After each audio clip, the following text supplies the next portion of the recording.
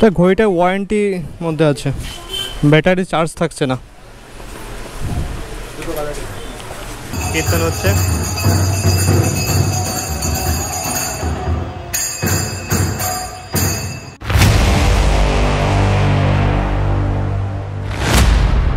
জানি তাই বন্ধুরা welcome back to another video তো আশা করি সবাই ভালো আছো। তো আমি এখন যাব রানাঘাটে। তো আমার যে ফার্স্ট ট্যাগে ঘড়িটা নেওয়া ছিল। এই যে দেখো ঘড়িটা। তো ঘড়িটা কি অন হচ্ছে না ব্যাটারি ডাউন হয়ে গেছে চার্জ দিলে কিছু সময় হয়তো বা থাকছে, তারপরে আবার অফ হয়ে যাচ্ছে। তো এখনও যেহেতু ওয়ারেন্টি আছে, তো আমি এখন রানাঘাট নিয়ে যাব। তো চলো বন্ধুরা, তোমরা দেখতে থাকো, তোমাদের সাথে রাস্তায় যে কথা হচ্ছে। বাড়ির থেকে যে বেরিয়ে পড়ছি, আর দেখো, বৃষ্টি হওয়াতে একদম কাদা হয়ে গেছে রাস্তাঘাট। তো আমাদের বাড়ির রাস্তাতে দেখেইছো তোমরা? বৃষ্টি হলে কী অবস্থা হয়ে যায়? তো আজ স্কুটি নিয়ে বের হচ্ছি। আমার যে টিভি জুপিটারটা আছে, ওইটা নিয়ে বের হচ্ছে আজ। তো প্রায় সন্ধ্যা লেগেই গেল। বন্ধুরা, গত তিন দিন ধরে বৃষ্টি হচ্ছে। তো বৃষ্টির কারণে কোথাও বের হয় না, তোমাদেরকে কোনো কিছু দেখাতেও পাই না। তো আজ বেলাও চলে গেছে, প্রায় সাড়ে পাঁচটা বাজে দেখো। তো আমার বাড়ি থেকে রানাঘাট পাঁচ কিলো, সাড়ে পাঁচ কিলোমিটার হবে। আর বন্ধুরা, বৃষ্টি হওয়ার কারণে আর কি সব কিছু অন্ধকার অন্ধকার মনে হচ্ছে। তো যদিও এখনও সন্ধ্যা লাগেনি বাট দেখো মনে হচ্ছে, দেখে মনে হচ্ছে যে সন্ধ্যা লেগে গেছে। আর রাস্তা দেখতে পাচ্ছ যে কি অবস্থা হয়ে গেছে। ভেঙে চুটে আর বৃষ্টি কাদাতে আরও বেশি কাদা হয়ে গেছে। সামনে এনএস থার্টি ফোর।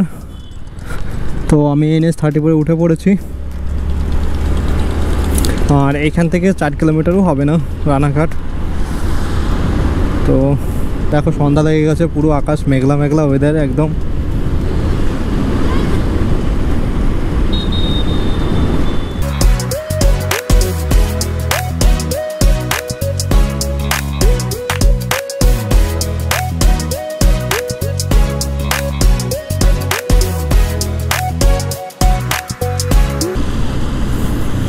তো সামনে যে পুলিশ মামরা দাঁড়িয়ে আছে, দেখো।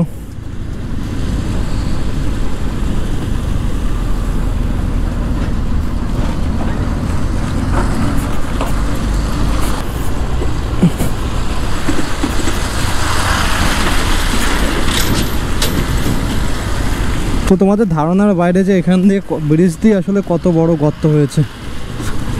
যে দেখো, এই কষ্টতে দেখো।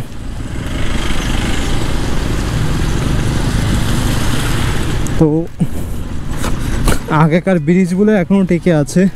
তো এখন যদি ব্রিজ হতো, তো আমার মনে হয় না এরকম টিকে থাকা সম্ভব হতো। কেননা ব্রিজটার অলরেডি ডেট এক্সপায়ার হয়ে গেছে। তো সেই ব্রিজটা এখনও যাতায়াত করছে। হ্যাঁ যতদিন না কোনো রকম কোনো অ্যাক্সিডেন্ট হচ্ছে, ততদিন মনে করো যে ব্রিজ চলবেই। আর যদিও পাশে ব্রিজ হয়েছে বাট চালু হয়নি এখনও তো আমি পৌঁছে গেছি রানাঘাট পরামানি খাল তো এই রাস্তাটা সোজা চলে গেল কলকাতা। আর আমি চলে যাব বায়ে, স্টেশনের দিকে। তো বন্ধুরা, আমি রানাঘাটের ভিতরে আর কি শহরের ভিতরে চলে এসেছি যে দেখো। সামনে রয়েছে স্টেশন। তো স্টেশনের আগেই রয়েছে আমার যে দোকানটা, যে দোকানটায় আমি যাব। ঘড়ির দোকানটাই। তো বন্ধুরা, এই যে দেখো, সামনে রয়েছে রানাঘাট পৌরসভা। আর পৌরসভার রাস্তা দিয়ে যে বাজারগুলো দেখতে পাচ্ছ, বসে দোকানগুলো আর কি।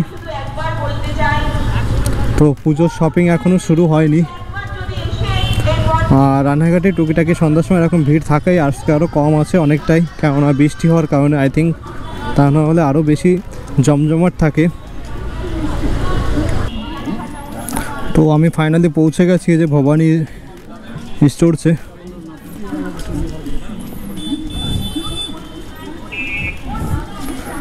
তো রাস্তার পরেই দেখা যাচ্ছে গাড়িটা কিছু করার নেই, আসলে জায়গা নেই।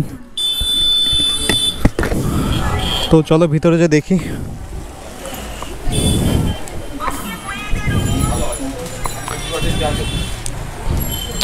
তা ঘড়িটা ওয়ারেন্টি মধ্যে আছে। ব্যাটারি চার্জ থাকছে না।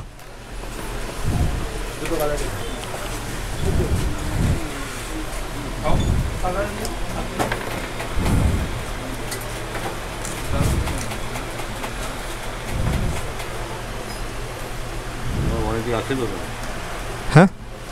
ওয়ারেন্টি আছে তো হ্যাঁ সেটাই বলছি ওয়ারেন্টির মধ্যে। দেখ।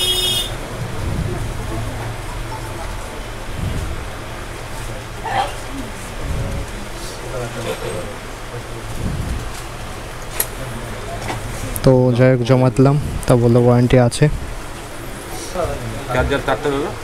তারটাই তো আনা ভুলে গে নেওয়া যাবে না। তারটাই ভুলে গেছে। GoPro camera.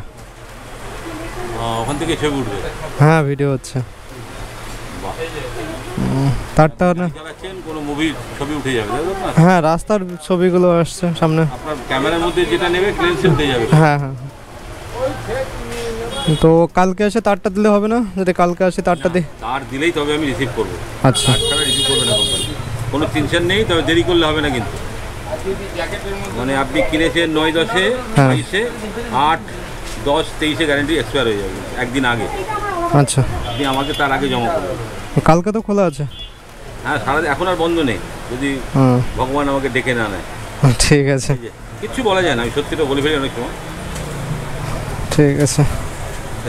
আগামীকাল তো রাধাষ্টমী। যদি এক সপ্তাহ দিয়ে তোমার গ্যারান্টি পার হয়ে ঠিক আছে। রবিবার দিতেই হবে কিন্তু। আচ্ছা। সপ্তাহে কিন্তু কোম্পানিতে লোক যায় না। আচ্ছা আচ্ছা আচ্ছা। তোমাকে যেহেতু হাতের সময় আছে রবিবারের মধ্যে দিলেই হবে। রবিবার পাঁচটার মধ্যে। আমার লোক আবার মাল নিয়ে সাতটার মধ্যে বেরিয়ে যায়। ঠিক আছে।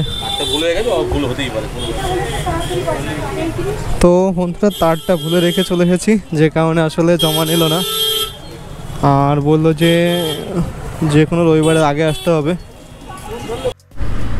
জানি তাই বন্ধুরা, তো আমি প্রণয়পুর চলে এসেছি। যেহেতু রানাঘাটে কিছু হলো না, তো ভাবলাম কি একবারে প্রণয়পুর থেকে মন্দিরটা দর্শন করে যায় এখান থেকে প্রসাদ পেয়ে যায় কিছু। দেখতে পাচ্ছ আমাদের হরিপুর ইস্কন মন্দির।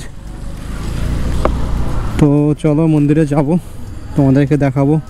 আর কালকে রাধাষ্টমী আছে, তো মন্দির কেমন কি সেজে উঠেছে, চলো তোমাদেরকে দেখাই। তো আমি যে হরিপুর ইস্কন মন্দিরে এখানে চলে এসেছি। আর তোমাদেরকে যে দেখাচ্ছি, দেখো যে। আর চলো ভিতরে যে দেখাই।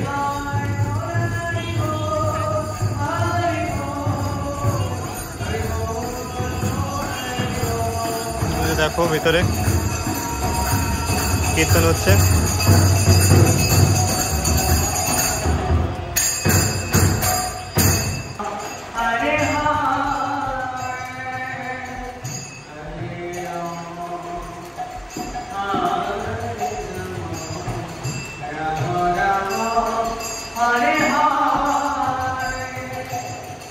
জানি তাই, তো তোমাদেরকে ভিতরতে দেখালাম, ভগবানের দর্শন করালাম রাধানের দর্শন করালাম।